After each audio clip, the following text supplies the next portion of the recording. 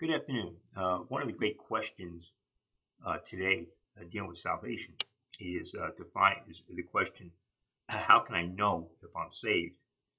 And uh, many of the people out there today who are running around uh, are saying that you can't know you're saved by your works. And in one sense, this is true, but in the other sense, it's false. There is a way to tell if you are saved that God wants you to know, and God is very specific about it is by God's discipline. The fact is, uh, while producing good works may not tell you you're saved, not producing them will tell you that you're not saved. Every Christian should be producing good works. It should, should be filled with the Holy Spirit. And uh, that will produce good works through the Holy Spirit. So there is God isn't uh, doesn't get you saved, doesn't uh, save you, and uh, then just ignore you and just let you go and say, um, okay, you all you go and do what you want to do. You're a son of God, and God will discipline you when you're out of fellowship. Of course, this view that God somehow just allows you to walk off on your own uh, for the rest of your life and live any way you want is a view that uh, is used to attack those who believe in eternal security. The fact is, God will discipline you right up to shortening your life and have this sit on death and bring you home early. And that's what he does to his children. And Hebrews 12 is very clear about that. And it says here, uh, let's see, uh, verse 4, 12, 4. For whom the Lord loveth, he chasteneth, and scourges every son he receiveth. If ye endure chastening, God dealeth with you as with sons. For what son is he whom the Father chasteneth not? But if ye be without chastisement, that whereof all you are partakers, then you are bastards and not sons. Furthermore, we have fathers, fathers in our flesh which corrected us, who gave them reverence. Shall we not much, uh, much rather be in subjective subjection until the Father of spirits and live? For they verily for a few days chastened us uh, after their own pleasure, but he for our profit, that we may be partakers of his holiness. Now no ch- chastening, if for the present uh, seemeth to be joyous, but grievous Nevertheless, afterward it yieldeth the peaceable fruit of righteousness unto them which are exercised thereby. Wherefore lift up your hands which hang down and the feeble knees, and make straight paths for your feet, with your for your feet, lest which is lame be turned out of the way, but let it rather be healed.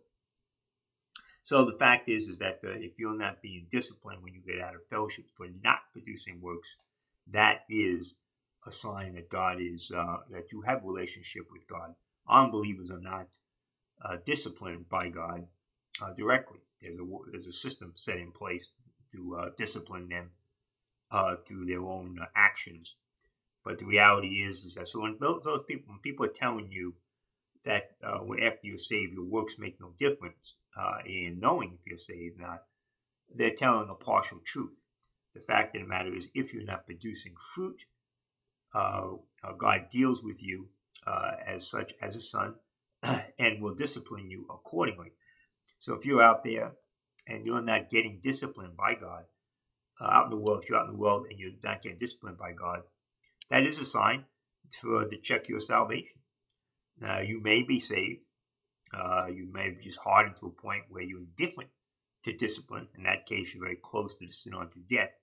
Uh, Paul talks about this again in 1 Corinthians 11 where those were taking the Lord's Lord's Supper. Let's see here. Uh, and verse, uh, and that was Hebrews 12. I don't know if I said it was that was Hebrews 12. I, I read there before. Um, verse, uh, uh, let's see, verse 27. Wherefore, whosoever shall eat this bread and drink this cup of the Lord unworthily shall be guilty of the uh, of the body and blood of the Lord. But let a man examine himself, and so let him eat, eat of that bread and drink of that cup. For he that eateth and drinketh unworthily, he eateth and drinketh damnation to himself, not discerning the Lord's uh, body. For this cause many are weak and sickly among you, and many sleep. For if we judge ourselves, we should not be judged. And as we use 1 John 1 9, where you confess your sins, if we confess our sins, he is faithful and just to forgive us our sins and to cleanse us from all unrighteousness. so that's that's where you uh, reestablish uh, your relationship with the Holy Spirit. But clearly, in 1 Corinthians 11, there were many weak uh, and uh, many are sickly, sickly, and some sleep. Very often, the uh, uh, ailments that affect a Christian in their health. Not always, not always. Sometimes there's legitimate reasons for being sick, and sometimes the sickness is actually just a test to, to strengthen the believer. But there are times when sickness is a, a discipline. And uh, the fact is also many Christians die early, young, because uh, they are not producing uh, the fruit uh, that God intended them to produce. So uh, the fact is that uh, the Christian can gauge his relationship with God by his works, not by producing the works per se, but by not producing them. Discipline from God is a sure indication uh, that you are a son. And uh, that is why uh, we, we're supposed to rejoice in discipline the fact that that tells us, well, yes, uh, that we are truly God's uh, children. And God is not going to allow us to continue uh, to walk in sin. So if you're in a sin state and you've been in a sin state for a while and you're not getting God's discipline and you don't feel God working on you, then you need to check if you're saved. So there is an objective standard to check if you're saved. And uh, you can be producing good, good works according to uh, the world standard from uh, fleshly reasons, but you can't fake God's discipline. God's discipline will make it very real that uh, you're not producing the fruits of the Spirit, which is from being filled with the Holy Spirit. So works do have uh, an issue, role to play in discovering uh, and, and, giving you confidence that you are saved truly saved, saved Christian. Uh, not so much in a positive sense, but in a negative sense. And that's what people don't want to talk about. They don't want to talk about the discipline side. The fact that if you don't produce works, if you're not producing the fruit of the Spirit, uh, the uh, and, and, and, therefore out of fellowship with God and quenching and grieving the Holy Spirit, God will deal with you accordingly, and uh, you will face His uh, His His uh, His punishment as a child. And uh, if you continue to resist that punishment and uh, his uh, admonitions, admonition to return to him, he will just simply shorten your life, as it says in 1 John 5. So don't let the people out there tell you that you can be saved, have eternal security, and then act, live any way you want. Uh, and God will, uh, will not be dealing with you. Uh, God will deal with you. And if He's not dealing with you, then you need to check uh, to see if you truly are saved and what you believe for salvation.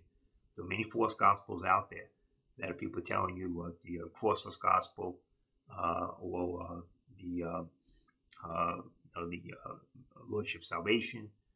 there are many false gospels out there that are deceiving people, and uh, people think they, they believe these they believe the true gospel, but uh, they're not uh, producing the fruit and if they're not producing the fruit, they should be receiving discipline from God. If they're not receiving discipline from God for not producing fruit, then in fact you believe the false gospel and you need to go back and read the Bible and see the true gospel, which is to believe in the Lord Jesus Christ, that he died for your sins on the cross, was buried, and rose again on the third day.